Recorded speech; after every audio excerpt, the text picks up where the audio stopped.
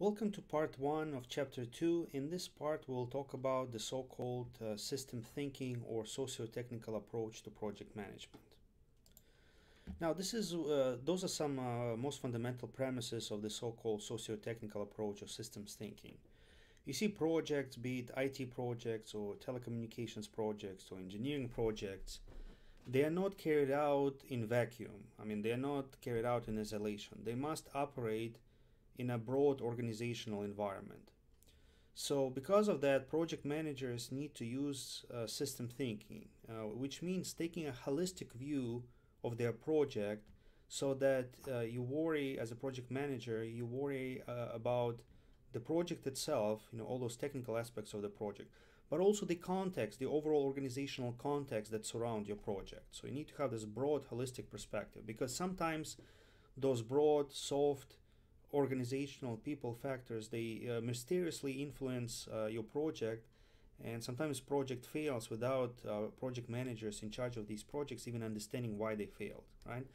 Uh, this is exactly what happened uh, in uh, at natural springs right? Only sometime after the project manager the cfo found out what was happening with his project and who was sabotaging his project and why the project ultimately failed now, uh, this system thinking approach emerged somewhere in 1950s in engineering.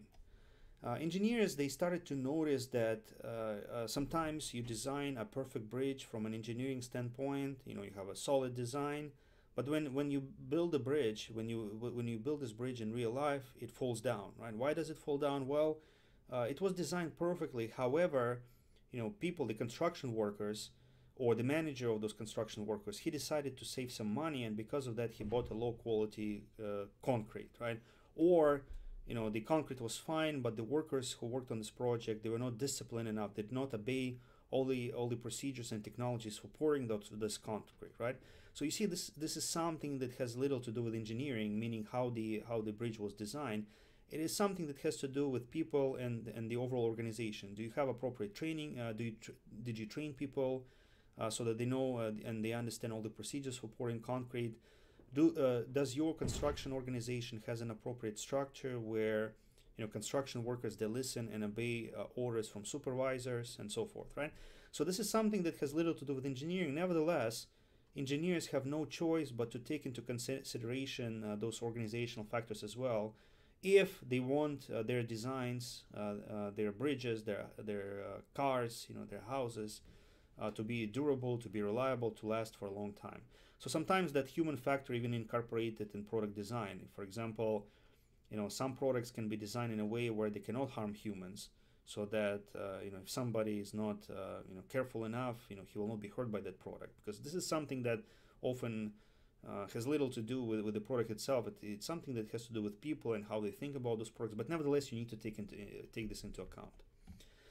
So, what is the system thinking imperative, meaning the most important advice in relation to IT project management? Well, uh, when you're working on an IT project, you, you need to address business, technological, and organizational issues before making changes to the system. Or, or in general, you need to keep in mind business, technological, and organizational aspects. So, for example, uh, let's say you have a project in front of you, and the project involves equipping every student at a business school with a laptop. Uh, this is typically done as a part of e-learning initiatives where um, you know uh, business schools or colleges of any kind or universities as a whole uh, they are trying to offer most of their courses or most of their course content online. And the idea is that students will not need uh, uh, textbooks. They will come to class with a laptop and they will access all this information like video presentations powerpoint slides. They will uh, take quizzes online using their laptops they will take exams online and so forth. Now, a lot of uh, IT uh, specialists they start here in the technological domain. So they address, uh, they think about technology issues first. Should the laptops use Macintosh, Windows, or both types of operating system? What kind of operating system are we going to require? What application software will be loaded? You know, what kind of applications are needed to support e-learning? What will be the hardware specifications? Words, what is the minimum configuration that we need to have for our laptops?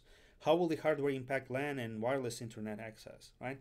So they think about technical considerations, but sometimes they overlook a number of important considerations that are on the business side. For example, what will the laptop project cost to the college? I mean, it could be that technology is fine, but it's just too expensive. What will it cost to students? I mean, students are already bombarded with all kinds of fees, with all kinds of uh, you know loans and tuition payments. So what if you ask them to buy a two thousand dollar laptop on the top of that? How will it will impact students? Will it cause a lot of students to drop out from the program or not? Right? Or how will you will you subsidize purchase of those laptops?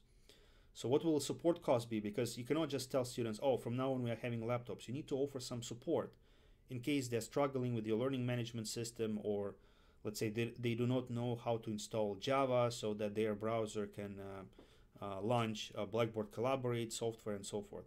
And, and ultimately, how will it impact enrollment? I mean, you're trying to differentiate your college, you're trying to, to be on the cutting edge of technology, but who knows? Maybe it will not attract students, it will scare away certain students. So the issues on the business side uh, have to be taken into considerations as well. And, you know, uh, all those issues in the business side, they typically um, you know deal with the profit right either with the cost side or revenue side of the profit equation so it's largely about money and then organizational side will the laptop project affect all students just traditional students only certain majors should you start with, with this overall project for everybody you will require everybody to have a laptop or you will experiment let's say with only computer science department first and how will the project affect students who already have PCs or laptops? I mean, what kind of deal are you offering to them? Because somebody will tell you, look, I don't want to buy a laptop. I already bought a PC for my studies here, right? Who will train students, faculty, and staff? I mean, will you have to hire additional staff members to train them how to use those laptops, how to use the learning management system?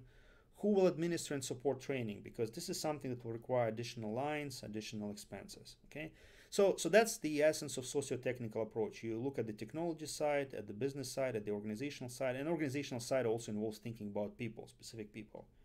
If you only focus on the technology area, then most likely you will fail. I mean, you can have brilliant ideas about uh, uh, you know the, the kind of laptop that you need, their configuration, their operating system, but you know those those factors will will will put a stop to any kind of uh, uh, technological advance if they're not properly dealt with. So that's the essence of the so-called system thinking or socio-technical approach. You need to look at the technology side of a project, business side, and organizational side. So that completes part one